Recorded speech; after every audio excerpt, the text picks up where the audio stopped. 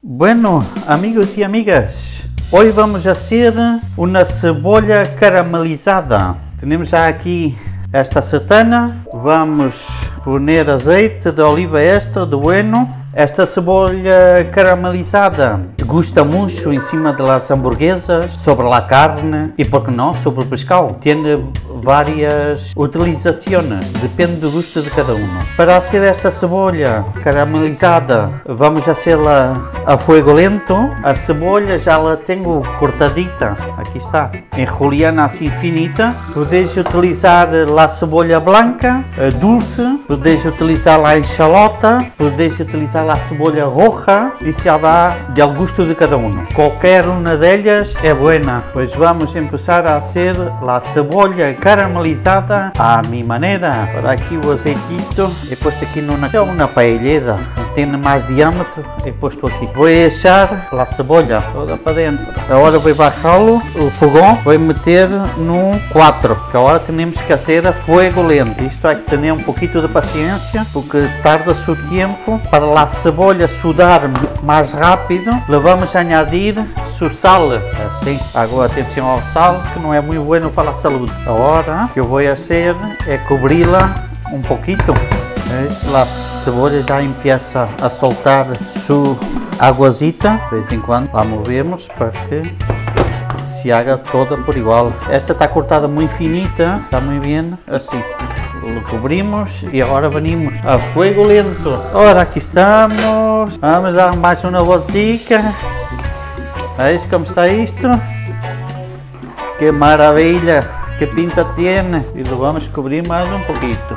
Ahora bien, ahora vamos añadir el vinagre. Eu vou usar este vinagre balsâmico, media copa. Vamos subir um pouquinho o fogo para a cebola ir ganando este saborzito do vinagre. E vamos cobrir outra vez. Lo deixamos aí. Ai, que pinta tiene. Ai, este caramelizado que vai quedar bueno, bueno. Habéis visto a quantidade como ha reduzido? He posto três cebolhas grandes e mirem o que ha quedado. Isto reduz muito. Se queda lá a mitad, tenham sempre em conta. Ao fazer isto, não quer dizer que tenham que gastar de, de seguida. Podem engordar para quando haja falta, não está rito. Vamos deixar reduzir mais o vinagre. Agora vamos dar mais uma voltica, a ver. Eis? Não tem casi casi vinagre já. E agora, normalmente, a gente lhe echa açúcar moreno. Eu lhe vou echar miel.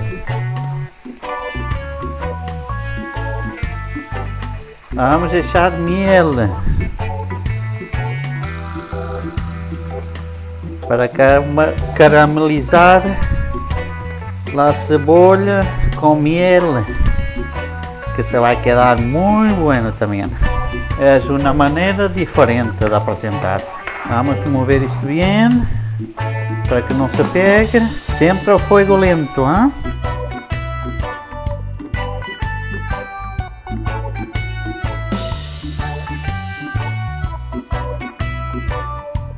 Agora há que estar ao tanto para não agarrar, vale? De qualquer maneira estas sertanas não se agarra nada aqui, são antiaderentes. Pero hay que estar con todo, con cuidadito. Miren, miren, miren.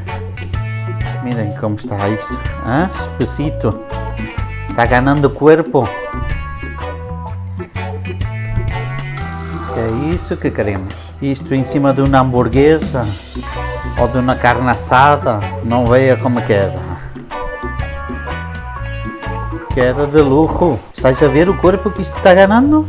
Não se olvidem de provar lá comidas, porque a cebola há que provar também. Se está bueno de sal. Que rico! Oh, que rico! Este amargo do vinagre com o doce do miel espetacular, está? Que alimenta, só de ver.